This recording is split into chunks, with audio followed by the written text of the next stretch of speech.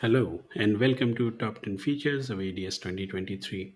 In this video series, we are talking about all the latest enhancements in ADS. In this video, we will focus on electrothermal simulation enhancements. And I have three main topics to cover during the video, which is going to be very useful if you are concerned with thermal performance of your design. First, I will talk about electrothermal for multi-technology assembly, where you might have used a smart mount to easily assemble multiple puzzle pieces onto a single design. Second, I'm going to talk about a completely LVS driven electrothermal flow, which does not force designer to maintain same instance name between schematic and layout. So this is very powerful, especially if you use different tools to do different things in your design. The third is about dynamic reuse thermal model, which helps in significantly speeding up your time domain thermal simulation, such as using transient or envelope controller to perform electrothermal analysis in ADS. So now let's go ahead and take a look at all these key capabilities one by one. To start with, I will show you the multi-technology assembly, which has been done with the smart mount and how now you can perform electrothermal simulation. First of all, here is my MMIC design, and this design has been configured to be used as a smart mount P-cell, and the current configuration is bottom mount. But in your case, you may have a flip chip or different type of implementation. So with this smart mount cell, this IC is integrated into a package design, which you can see here. So if I press 3 to show you 3D view, you can see the package at the bottom.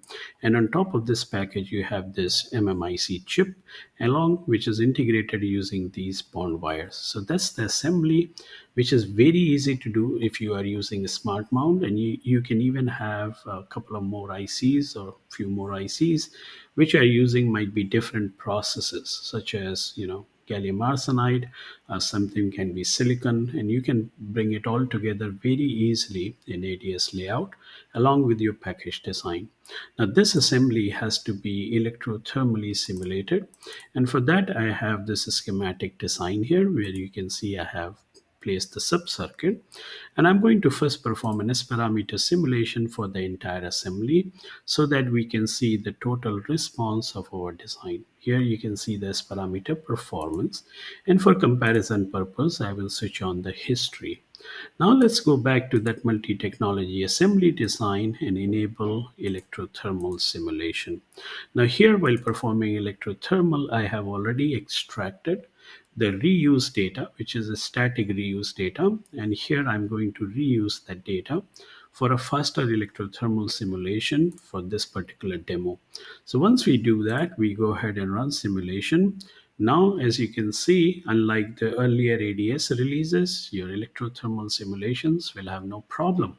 And here you can see minor differences due to the thermal performance of your multi-technology assembly. Very useful uh, if you are very concerned with thermal performance in a high dense you know kind of module design or, or layout design pretty cool. Now let's go ahead and talk about the second key feature, which is about LVS driven flow, where you would like to record the temperature in cases where your schematic and layout um, representation of your designs are not matching. For example, here I do have a sub-circuit on which I would like to perform electrothermal simulation. And in this case, I'm simply using a DC simulation. But if you look at the schematic here, you can notice I have two simple FETs with the name M4 and M3. Now, if you look at the layout representation of the same design, you will notice these instances are called M1 and M2. Now, in a regular sense, there is no synchronization between the two representation of the design. And if you understand how electrothermal simulation works, it primarily runs circuit simulation first, keep all the power dissipation noted, and then that information is passed over to layout, where based on that information, you perform a thermal analysis. After you perform thermal analysis, the thermal results are passed back to these models, and then we perform circuit simulation to notice the electrothermal uh, simulation effects on your design. Now, in this particular case, because there is no synchronization between the two representation, the electrothermal simulation will give you um, no, no real result. So how do you fix that? Well, now in new ADS versions, when you have these kind of cases, and these kind of cases are very common when your layout design is done in some third party tools and you're simply importing it into ADS. Then there is no guarantee the instance names will be same. Now in that case, you can simply go to tools, ADS desktop LVS, you simply run the LVS engine. Once you run LVS, now uh, ADS will create a mapping file between the instances in your layout and a schematic. And that file can be used in electrothermal simulation. You simply need to select this option, use name map file from LVS job, browse to this verification folder inside your workspace where you have the LVS job folder. And here, simply use this pinnet job report file. And once you do that, you can go ahead and perform simulation without any problem. And now you can see the results, even if your representations are not synchronized completely. And here you can see temperature mm, with different fingers on one of the transistor. And here is the instance M2 on design and what's the temperature on those transistors as well as power dissipation. So pretty cool capability. It will be very helpful in simplifying your job as the utility will automatically create the equivalent mapping file between schematic and layout hope you like this new capability. All right, now let's go ahead and talk about cases where I would like to perform electrothermal simulation and I would like to see how the thermal profile of my design changes with respect to time. And this is very common when you run transient analysis or circuit envelope analysis in ADS. And here you can see in the results, I do have two results overlapping. One using the older way where we were doing electrothermal simulation on every time step and at every time step the thermal analysis was performed. Now that tends to be very time consuming depending upon how much long time domain simulation you would like to perform.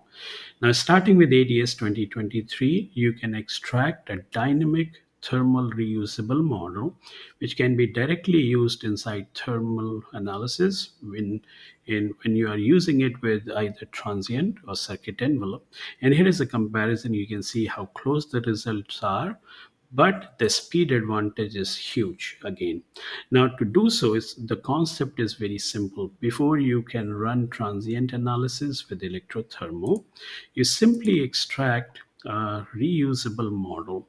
So here, this can be done by a simple DC simulation where you have assigned your bias um, voltages to your circuit. And now in electrothermal, we can enable the reuse and extract the electrothermal data.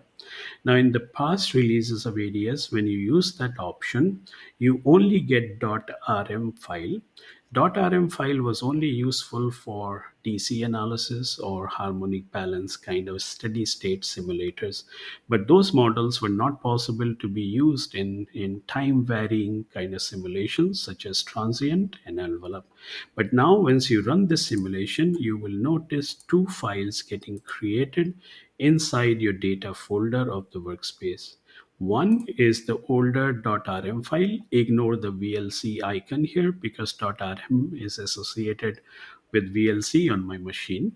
Uh, so .rm was always there. Now with 2023, you have .rcm, which is a dynamic reusable model for electrothermal simulations. Now, once you have that model, uh, the electrothermal analysis along with transient or envelope will automatically pick that. Now, in order to allow uh, the electrothermal to use it, you need to simply create this configuration file with this exact same name and just put this variable in that file, reduce order model, and you can enter any non-zero integer. If you represent minus, minus simply means it will have higher order um, model data at the higher frequency, enhancing the accuracy of your simulation. So once you have that file, you have that variable defined. If you run electrothermal analysis, the model will be reused and your simulations will run significantly faster compared to the earlier releases of ADS. So that's all for this video. I hope you like these three key enhancements and they will be very useful if you are running electrothermal simulations in ADS. Thanks for watching and wish you all the best in your design work.